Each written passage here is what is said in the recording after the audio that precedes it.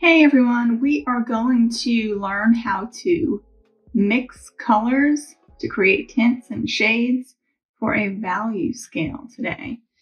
So we're going to start first with white. So it stays pure white. So on the side here where it says white, we are going to paint that white. Our hue is our pure color, pure hue. I chose green for this, for the practice. So I'm going to paint the pure hue right in the middle there. Yeah, I'm not worried about going over the lines. So next, we're going to add some white to our pure hue over here. So I'm actually going to take some of this and extend that pure hue over. There's different ways of doing this. And I'm going to take a little bit of the white from the side here, just a little bit. I'm just going to mix it right there. Now, I'm going to take a little bit more of this pure hue. I'm going to put it in this square, rectangle, not a square, it's a rectangle. And now we want to add more white than we did in that square. Mix it. Now I want to get the excess off my brush so I don't get too much on the white. So wipe off your brush on a piece of paper that's next to you. And I'm actually going to take some of the white first this time and put it down. That's because my white is getting dominated by the green. I'm going to take some of that green. I'm actually going to extend that over here to make my next color here. Because I need to add even more white. Because after that comes white. So we need to make that light, light, light.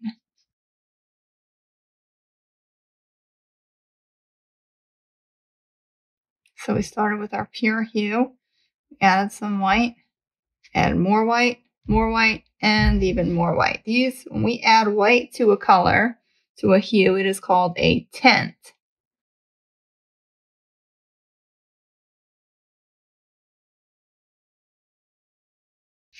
Next, we are going to add a tiny bit of black to make a shade. So I'm actually going to extend this hue over by painting just plain hue.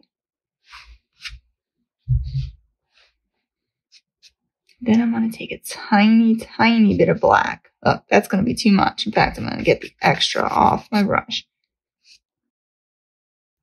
See, a little bit goes a long way there. So now I'm going to take some more of our hue, go to the next box. Make sure I have enough of it on it so I'm able to mix. We want to go even darker, so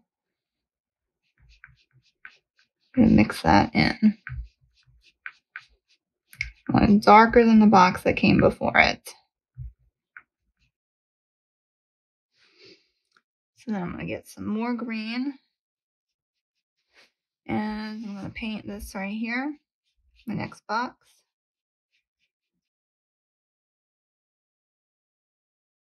Make sure I have enough green so I'm able to mix.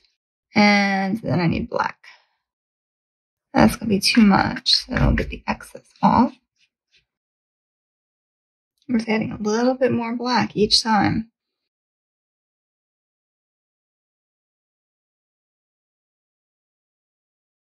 finally, we end with black.